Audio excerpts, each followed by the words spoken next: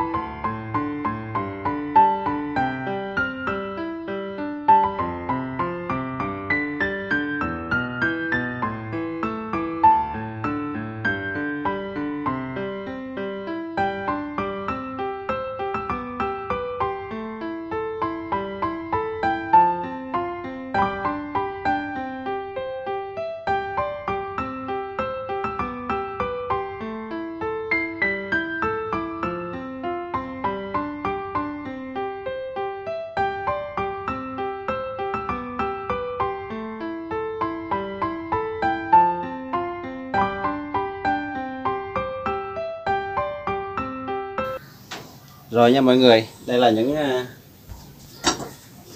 cái thành quả mình à, đã bị à, cắt xong, đã được cắt xong rồi nha mọi người. Thì bây giờ mình sẽ lau sạch và mình sẽ hướng dẫn sơ lược cho mọi người ha. Để mình bắt đầu là tiếp tục là lấy keo dán mọi người. Đó. đây là cái cái đớ đớ của chậu này thì mình đã được cắt thành một cái hình chủ nhật như thế này rồi. Thì đây là các lỗ mình đã khoan ở giữa này. Đó, để mình ghép lại nha mọi người và đây là cái khung chân nó của, của khung chân nó này là tạo cái viền kiểu cho mọi người đó. Tạo cái viền kiểu ha. Rồi. Nó mất một miếng rồi đây là cái chỉ nha. Đây là cái chỉ của cái cái, cái chậu hoa nha. Rồi đây là bốn tấm vách nha mọi người đó. Bốn tấm vách mình đã cắt xem vách là mình đã liếc hết rồi nha. Cũng rất là thực tế nha thì à, đây xong hết rồi đây. Đó, bây giờ mình sẽ à, dán nó là xong ha. Nó rất là nhanh rất là gọn lẹ nha mọi người. Thì mình à, cắt những cái bánh gạch này mình ghép mình tận dụng không chống lãng phí gạch anh em mọi người. Thì mình lấy keo dán đá hoặc là silicon đó mình làm thì công rất là nhanh. Chứ không phải là lấy vữa lấy đồ chi rồi ráp vô thì rất là lâu nha mọi người. Đó thì mình lau khô hết mấy cái này rồi hết bụi bặm rồi ha. Mình lấy sơ lực cái silicon với keo dán đá ra mình rất là mình đây ha.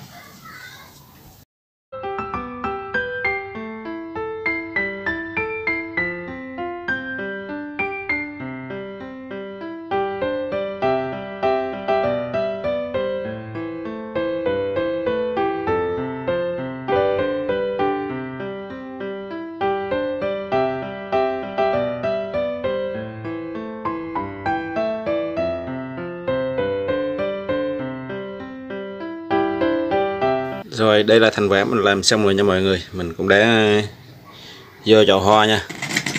Thì video nó có một chút lỗi về cái bộ nhớ thành mình thiếu sót cái chỗ kia xíu nha mọi người. Hãy ủng hộ cho biến định à, xem cho đến hết video nha mọi người. Thì đây đây là một cái cây mai nè mai con nè. Đó, biến định sẽ tạo cái video này rồi là khác với cái chậu à, đầu tiên nha. Đó. mình sẽ đưa xa ra cho mọi người xem ha.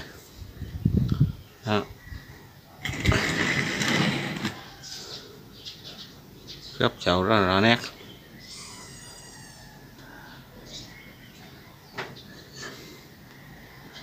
Nhìn rất là thích nha mọi người. Đó, mình có ý tưởng mình lên một cái video như thế này rất là thích nha. Thì mình à, tự tay mình làm rồi nó có một kỷ niệm và nó có nhiều cái độc lạ nha mọi người. Đó, thì nó cũng à, tạo cho mình một cái khoảng không gian đẹp bằng những cái viên gạch men như thế này. Không phải chỉ là À, uh, ốp nền hay là ốp tường nha mọi người. Thì còn được là tận dụng là làm là chậu hoa cây kiển rồi nha. Ừ. thì nó có nhiều uh, hình thức màu sắc.